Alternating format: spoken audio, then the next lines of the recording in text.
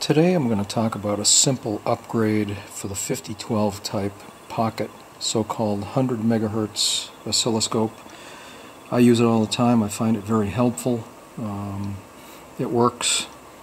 It's been extensively reviewed on the EEV blog and Learn Electronics and others, so I'm not going to go into that specific detail, but one of the shortcomings of this uh, device is uh, the battery. It was originally specified to come out with a higher capacity battery before it was released. Evidently they couldn't get it to fit in the case and also those batteries don't seem to have a long lifetime. Um, I'll show you what I've done as an alternative to increase the capacity um, of the battery on this device. This pocket oscilloscope is available on eBay, Amazon, many of the Chinese outlets at a very reasonable price. Um, so it's a widely available uh, pocket oscilloscope.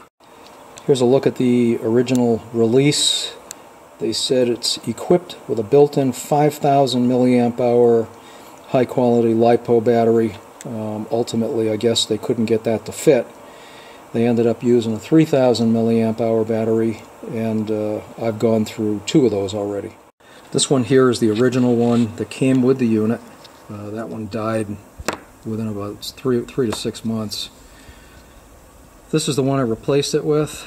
Um, didn't get much time out of that, probably, I don't know, six months. So I'll show you what I've done as an alternative. I found this battery on Amazon. It's a 4,000 milliamp hour battery. Basically, it's a significantly larger than the 3,000 milliamp hour battery lengthwise, not widthwise, and thickness, it's actually thinner, so it fits right in the case, and it seems to fit perfectly.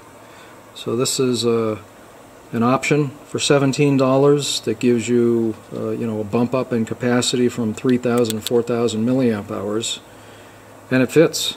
So this is a potential option, and I'll show you what it looks like in the case. So there it is in the case and when you position it like this, there's just enough room for the BNC jack to fit flush and let the case close completely. In the ad, um, it shows like a 2019 date code battery, but the reality of it is this one's actually date coded July of 2020. Here it is back together. I don't even have the screws in yet, but you can see the case fits flush.